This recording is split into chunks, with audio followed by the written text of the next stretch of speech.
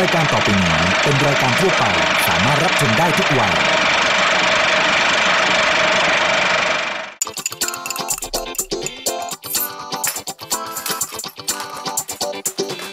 กินได้ กินไม่ได้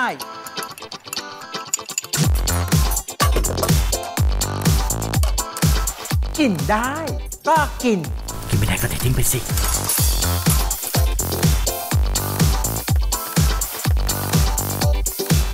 นับสนุนโดยผลิตภัณฑ์ผลไม้ฟรุตเบรดและน้ำเชื่อมแต่งกลิ่นตราเนเจอร์เทส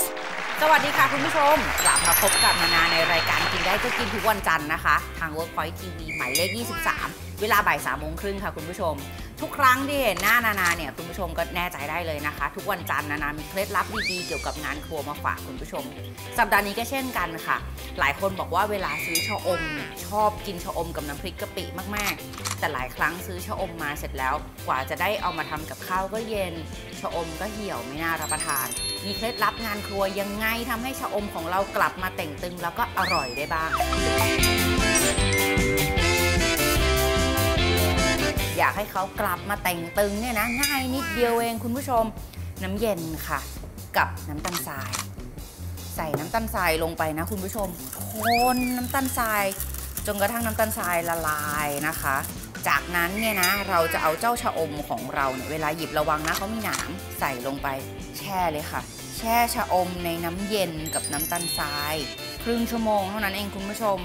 ชะอมของเราจะกลับมาแต่งตึงอีกครั้งค่ะ วันนี้นานาจะเอาเจ้าชะอมเนี่ยนะคะ มาทำเป็นน้ำพริกกะปิทานคู่กันค่ะ แต่ไม่ใช่ธรรมดานะ เพราะวันนี้เราเอาชะอมมาทำเป็นทาโกยากิค่ะ เดี๋ยวไปดูวิธีการทำพร้อมๆกัน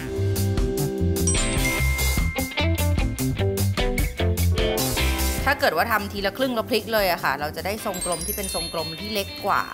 อันนี้แล้วแต่คุณผู้ชมเลยนะ เอาตามความสะดวกแล้วความชอบ กิจกรรมนี้ชวนเด็ก ๆ มาเล่นด้วยกันได้ แต่ระวังนะคะ เตามีความร้อนยังไงก็ผู้ปกครองต้องอยู่ดูแลด้วยนะ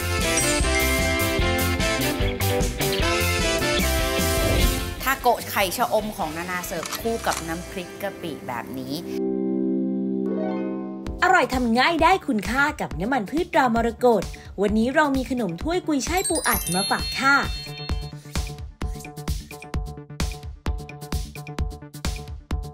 วิธีทำน้ำจิ้มพริกดองจิ๊กโฉ่วใส่จิ๊กโฉ่วลงในภาชนะตามด้วยซีอิ๊วขาว น้ำตาลทรายแดง และพริกชี้ฟ้าแดง คนให้เข้ากันเตรียมไว้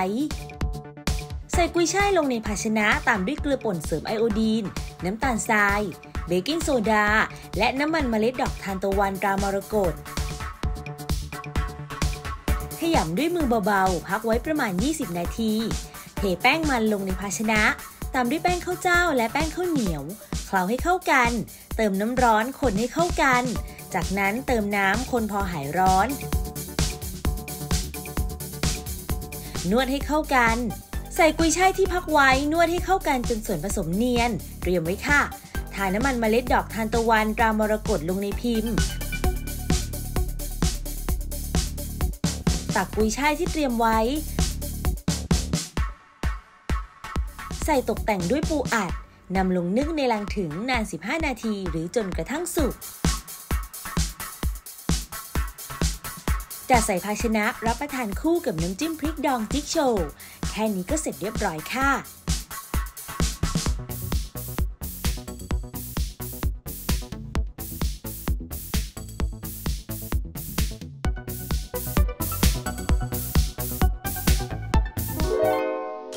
ช่วงอร่อยง่ายได้ใจสนับสนุนโดยโลโบ ช่วงอร่อยง่ายได้ใจ วันนี้เรามีเมนูชีสเค้กส้มมาฝากค่ะ วิธีทำฐานบิสกิต ใส่บิสกิตรสช็อกโกแลตบดละเอียดลงในภาชนะ ตามด้วยเนยสดชนิดเค็มละลาย คลุกเคล้าให้เข้ากันนำส่วนผสมที่ได้กรุลงในภาชนะ ประมาณ1ส่วน3ของภาชนะนำเข้าแช่เย็นเตรียมไว้ วิธีทำครีมชีส ใส่ครีมชีสลงในภาชนะตามด้วยนมข้นหวานและน้ำมะนาวคนให้เข้ากันเตรียมไว้ วางเนื้อส้มลงบนบิสกิตที่กรุเตรียมไว้ ตักส่วนผสมชีสลงบนเนื้อส้มประมาณ2ส่วน3ของภาชนะนำเข้าแช่เย็นจนส่วนผสมทรงตัวดี เตรียมไว้ค่ะ วิธีทำเจลลี่ส้ม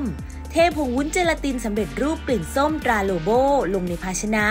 เติมน้ำร้อนคนจนส่วนผสมละลายดี เติมน้ำเย็นคนให้เข้ากัน ตักส่วนผสมที่ได้ใส่ชีสเค้กที่เตรียมไว้ ประมาณ3ส่วน4ของภาชนะนำเข้าแช่เย็นประมาณ 2-3 ชั่วโมง หรือจนกระทั่งทรงตัว พร้อมเสิร์ฟค่ะ เพียงแค่นี้ก็พร้อมรับประทานแล้วค่ะกับเมนู